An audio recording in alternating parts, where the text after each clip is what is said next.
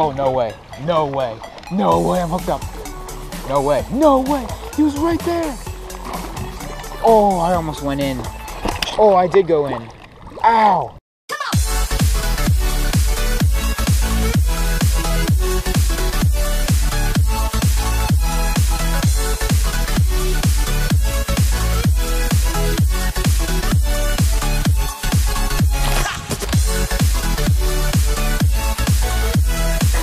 Welcome back. Today, it's round two. We are at a very scenic spot. The water is ultra clear. The goal today is to catch some smallmouth. That's what we're here for. We're gonna try to redeem ourselves from not catching anything the last time we came to Lake Champlain. And without further ado, let's get right into it. Alright, so today I'm going to be strictly fishing with Ned rigs. And so what I'll be using on that Ned rig is either the Sukoshi bug, which I mentioned in my unboxing video. If you guys want to go watch that, learn more about them, these things are awesome. I'll primarily be using the Sukoshi bug, but if that doesn't work, um, I might switch it up to the Googan Baits Rattlin' Ned. These are just two different takes on a Ned rig. Both of them smallmouth absolutely love. So that's the goal today, to catch some big smallies. Ha, it's kind of ironic. Big smallies. I never thought of that. Big smallies. Wow. Okay. Anyway, yeah. I'm gonna show you guys how to rig it up and then we're gonna get to it. So for Ned rig we have the Sukoshi bug and the hook.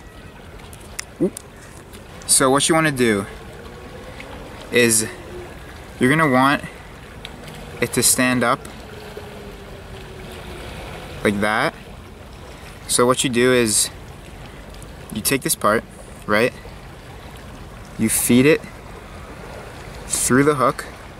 This took me a lot of tries before I actually was able to do it right almost every time. So yeah, but it's gonna take a bit. So what you do is you just feed it through and then you want to get it about halfway and then you just poke it out the middle and it should look something like that final product. You want it as straight as possible. This is a little bit bent to the side but it'll do just fine. And the key to this is as you're feeding the hook through the bait you want to keep it as central as you can because if you put it off to the side even a tiny bit these baits tend to lean to the side as you can see.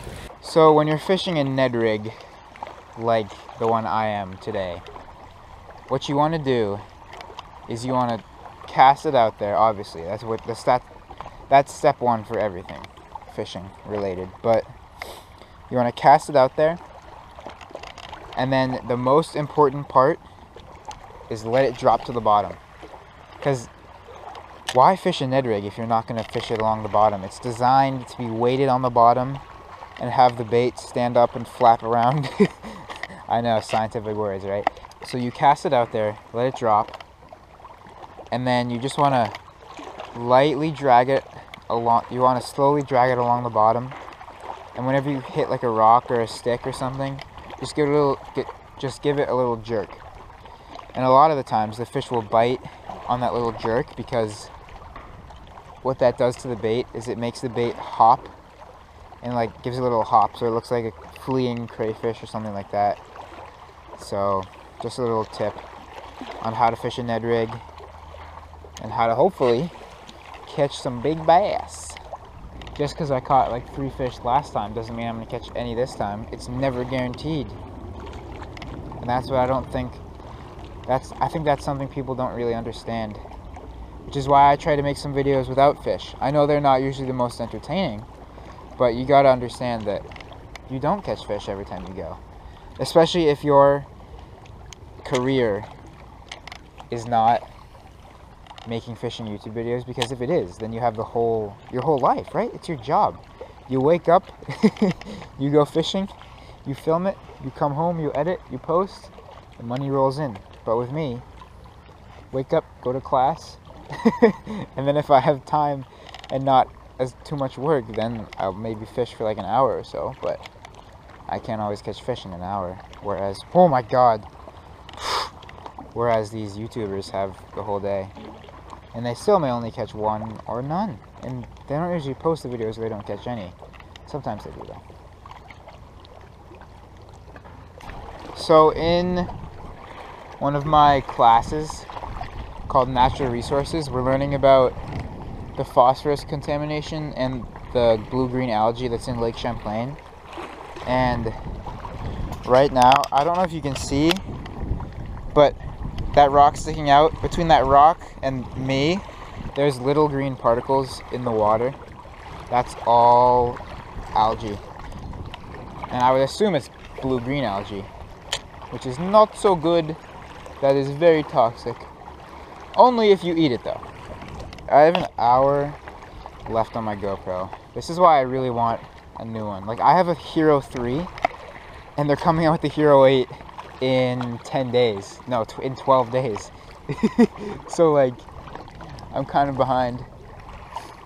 Which is partly why my GoPro always dies and it's also why the footage is not the highest quality. But that's okay. Hopefully my my wish is to get a GoPro 8 for Christmas. That's all. That's all. That's really all I want for Christmas because my parents are trying to save money for college and you know all that stuff.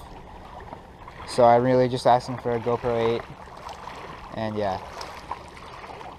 Cause like, I've had the same phone for four years, and it still works fine. Doesn't have any cracks. So I mean, I definitely saved the money in that aspect. So hopefully they'll buy into my little bargain deal. Oh my gosh. Wow. Well, we caught something today. That, ladies and gentlemen, is a lake mussel. Boop, off he goes. Back into the abyss.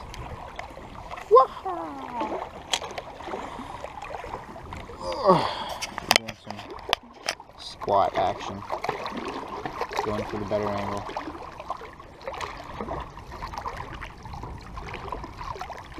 Oh, no way. No way. No way, I'm hooked up. No way, the squat did it. What is it? What is it? What is it? Don't tell me it's a... What is this? Yo! That's a massive rock bass. Boys, the squat did it. And my timer went off. Let's go. That might be my PB rock bass with the bent hook and everything. No freaking way. All right, timer. Shut up. Shut up. No way.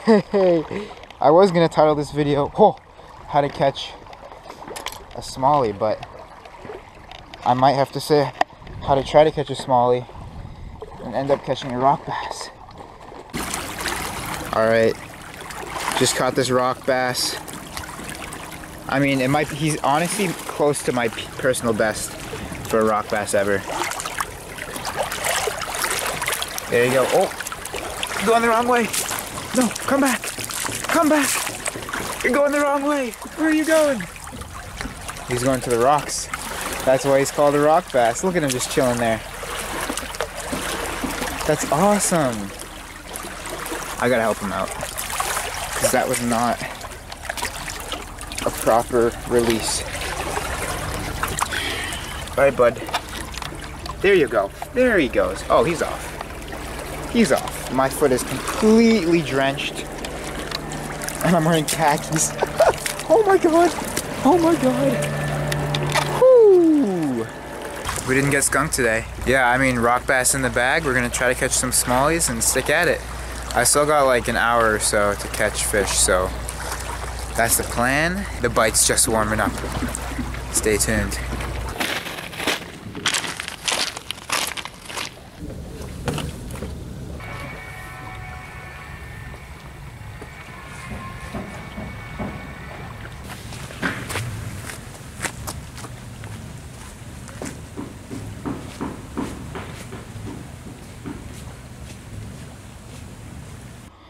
Currently, we're walking to the next spot. But guys, I figured out if the if I do not if I don't end up catching any fish today, I figured out the reason why. It's because I forgot my gosh darn necklace. I always forget it. It's my lucky charm. Like, I'm not superstitious. I'm just a little stitious, but no, on a serious point. Yeah, that thing's just like my little lucky charm.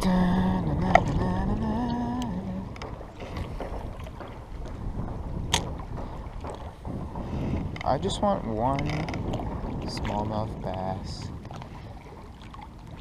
That would be so cool. If I could just catch one. Is that a fish? Oh, that's definitely a fish. No! He came off! What the No way!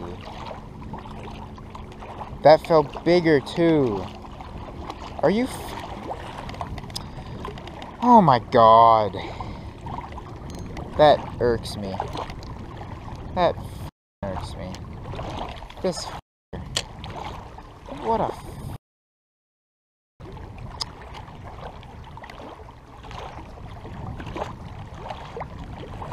And trust me, I would be yelling way louder. But there's a bunch of people around and I don't want to like I, don't want to annoy them. That's basically what I'm trying to say. Damn it, dude. That was definitely a smallie. Or it definitely felt like a smallie anyway.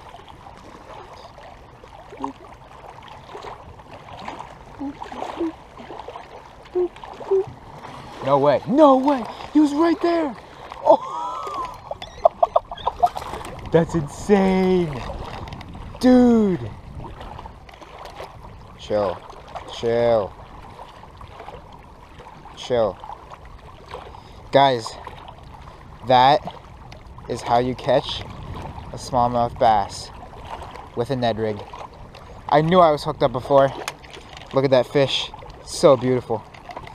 He was just chill. Oh, I just dropped my reel in the water. He was just chilling right on that rock.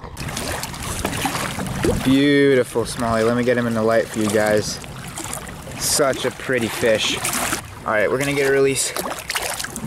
See you, bud. I hooked up like over there and then he came off. But I knew there was a fish over there. So I cast like right by a rock down there. And as I was reeling in, I saw him eat it. It was the sickest thing ever. Awesome.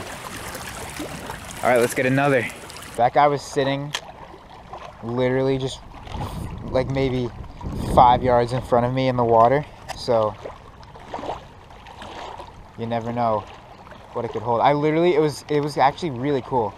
I was just like playing around and I could see my bait. So I was like bringing it over this rock. I let it sit on top and then I gave it a little twitch and let it fall to the bottom just as like, I don't know, just to like see what would happen, just to like watch it fall. and as it fell, the smallie just absolutely smoked it. Lake Champlain, I've conquered you this time.